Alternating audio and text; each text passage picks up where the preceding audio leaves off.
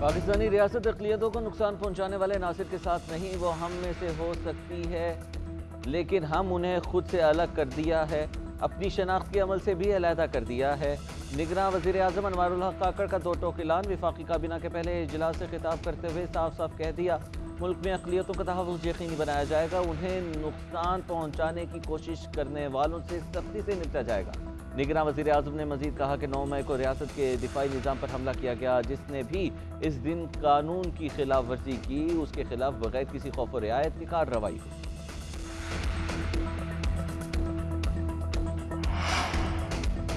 दिन की दस रुकनी निगरान कबीना आज हल्फ उठाएगी। गवर्नर कामरान पेसोरी हल्फ लेंगे। जरा के मुताबिक brigadier retired Haris Nawaz, Mubeen Zamani, doctor Junaid Ali Shah काबीना का हिस्सा होंगे। डॉक्टर साद न्याज, यूनुस खागा, खुदा बख्श मरी के नामों पर भी गौर। डॉक्टर राना हुसैन मुसदिक मेमन और अहमद शरीफ को भी काबीना में शामिल किए जाने का इम्कान।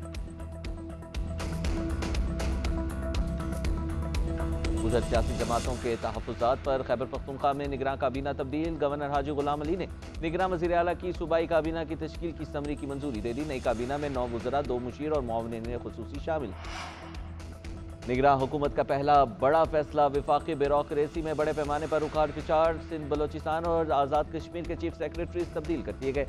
Doctor Fakhar Alam Irfan, chief secretary Sindh, Shakeel Qadir Khan, chief secretary Balochistan और दादू मोहम्मद बड़ीच सेक्रेटरी आज़ाद कश्मीर तयनत कर दिए गए हैं। Kamran Ali Afzal secretary cabinet division, Abdullah Khan Subal, additional secretary वजारत दाखिला मुकर हसन नासिर को सेक्रेटरी आई टी लगा दिया गया है। Momin Agha, additional secretary incharge petroleum division और doctor Shahzad Khan Bangash, secretary housing और सैयद आसिफ हैदर शाह, सेक्रेटरी मौसमियाती तब्दीली तैनात कर दिए गए हैं। नोटिफिकेशन जारी।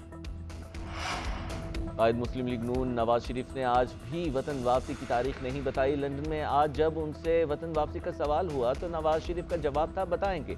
आपको सहाफ़ी ने फिर सवाल किया कि क्या आप मुस्लिम लीग नून की इंतबी मुहिम की क्यादत करेंगे? नवाज़ शरीफ बोले इन मुस्लिम लीग नून के कायद नवाज़ शरीफ से कौमी क्रिकेटर उमर अकमल की लंदन में मुलाकात हुई।